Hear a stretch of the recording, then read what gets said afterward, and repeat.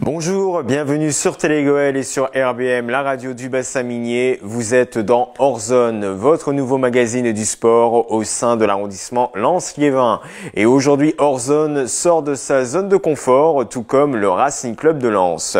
Aujourd'hui, on va parler des Artésiens qui sont actuellement, eh bien, confrontés à une période de doute après leurs deux derniers matchs, deux matchs nuls et vierges. On parlera également de la Coupe de France et des résultats du club du Lensois. Dans la rubrique reportage ça roule pour l'IUT de Lens. L'école a organisé eh bien, une grande après-midi où les bolides à roulettes ont dévalé la rue de la Paix. Et bien sûr, dans l'agenda, on vous parlera de ce derby du côté des U19 nationaux. Lens affronte Dunkerque. Vous êtes dans Horzone sur Télégoël et sur RBM. Sortez du tunnel, le match va commencer.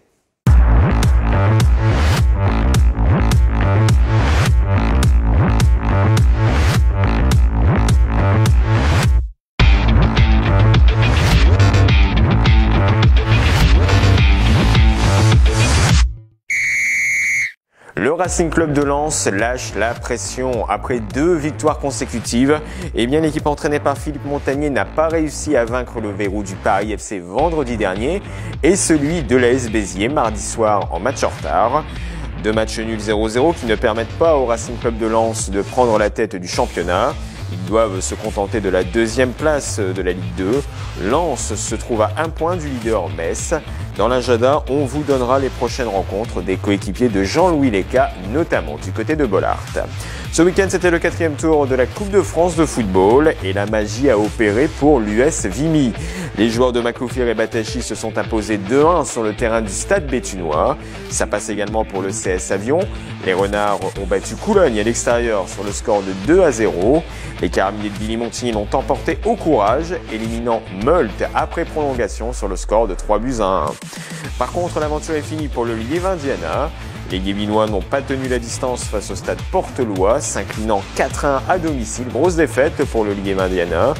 De leur côté, eh bien, l'USO Lance passe également à la trappe au terme d'un match sensationnel face à Bondu, une rencontre qui s'est terminée sur le score de 5 buts à 3. En basket, Liévin n'y arrive pas en ce moment. Le basket club liévinois faisait face à Maubeuge, présent dans le haut tableau de la Nationale 2, qui est la quatrième division nationale. Et les hommes de Dominique Malbranc ont déposé les armes sur le score de 78 à 64. Au classement, Liévin pointe au dixième rang de la poule D de la N2. Deuxième victoire en deux matchs pour le Volley Club de Arnes. Les filles du VCH euh, n'ont pas fait de détails face à l'Institut fédéral du volleyball. Une victoire 3-7 à 0 avec notamment un score de 25 à 4 dans le premier set. C'est vraiment impressionnant. Donc Arne prend la quatrième place de sa poule du côté des filles. Et du côté des messieurs, pour le Arne Volleyball, eh bien ces derniers ont relevé la tête. Ils s'imposent 3-7 à 1 contre le PUC Volleyball. Là aussi, Arne se retrouve quatrième de sa poule.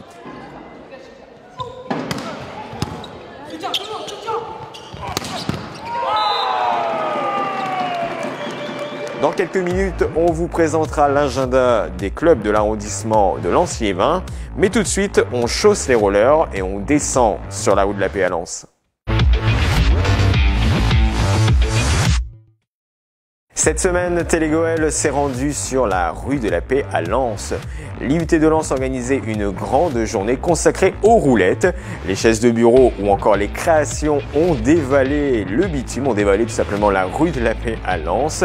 Il y avait des fous rires, il y a eu également des costumes et des déguisements assez incroyables comme vous pouvez le voir sur ces images de Laurent Lamaze.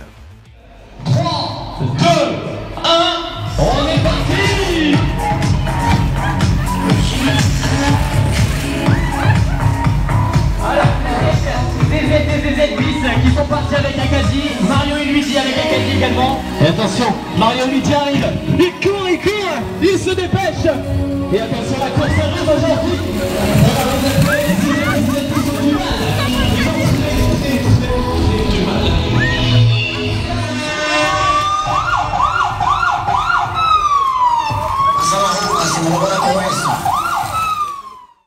Tout de suite dans Hors Zone, c'est l'agenda pour ne rien rater des matchs près de chez vous.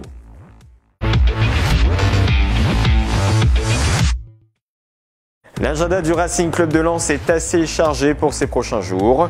D'abord, le RCL se déplace à Auxerre dans le cadre d'une nouvelle journée du championnat de France de Ligue 2. L'occasion pour les 100 de retrouver le goût du but et de la victoire après deux matchs nuls.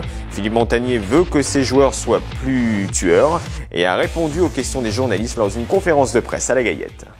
C'est une équipe qui a, qui a un niveau qui n'a rien à voir avec son classement que beaucoup de joueurs euh, de Ligue 1, Adeoti, Ferré, Philippe Otto, Yatara, puis des joueurs qui ont brillé en Ligue 1. Donc euh, nous, on va jouer cette équipe-là en se disant que voilà, ça a la valeur d'être dans les 7-8 premiers. Après, il y a les circonstances, j'ai pas étudié tout leur parcours, et puis, euh, mais pour nous, en tous les cas, c'est pas du tout une équipe qui, son, son, niveau reflète pas du tout son classement. Puis on a pu le voir sur le dernier match à 3 où ils sont plus près de faire un résultat que de, perdre. Euh, Auxerre euh, est vraiment une très bonne équipe. Euh, je pense qu'ils ne sont pas à leur place au, classement. Il y a énormément de joueurs d'expérience qui ont évolué longtemps en, Ligue 1. Et il va falloir être très très vigilant et, ne pas se au classement, ça c'est sûr. Nous, en tout cas, on en alerte et on sait que ça va être un match, euh, un match compliqué où il va falloir euh, être euh, doublement vigilant. Et après, ben, après, après à, nous de, nous de faire nécessaire. L'objectif, c'est qu'on soit un maximum, qu'on soit dans le bon wagon jusqu'au mois d'avril. Et alors le bon wagon, c'est quoi bah, C'est dans les 5-6 premiers et être. donc l'objectif est plutôt ça. Et Aujourd'hui, on est dans le bon wagon et ce qu'on veut, c'est y rester. Oui, je pense que Auxerre, en plus, a la qualité des joueurs euh, pour s'imposer chez elle. Et puis, euh, c'est vrai qu'ils sont en recherche de points. Bon, on l'est tous, mais bon, il y a des positions urgentes qui peuvent faire qu'on va trouver une équipe euh, extrêmement, je pense, prête et très déterminée. Ça, c'est ça, c'est sûr qu'on va avoir un, un gros match et peut-être le plus gros match à l'extérieur à jouer après Metz. Au Lens, c'est ce samedi à partir de 15h. Le 11 octobre, il ne faut pas oublier le match amical des hommes de Philippe Montagnier. Lens recevra Padova dans son stade Bollard de Ulysse. La Padova est un club évoluant en deuxième division italienne, en Série B. Les places sont disponibles à la boutique Émotion Foot et sur le site internet du Racing Club de Lens. D'ailleurs, c'est gratuit pour les abonnés, donc n'hésitez pas à retirer votre invitation. Et enfin, le 22 octobre, les 100 et or recevront le Gazellec Ajaccio en championnat. Et là aussi, vous pouvez déjà réserver vos places. De son côté, la réserve du Racing Club de Lens se porte assez mal, pointant au dernier rang de sa poule de National 2. Les joueurs de Franck Hayes tenteront de relever la tête à l'extérieur face à Agenot. Et on termine le chapitre lensois avec les U19 nationaux. Les jeunes pousses joueront un derby ce dimanche face à Dunkerque à 15h. Ce match se jouera sur la pelouse San Siro de la Gaillette.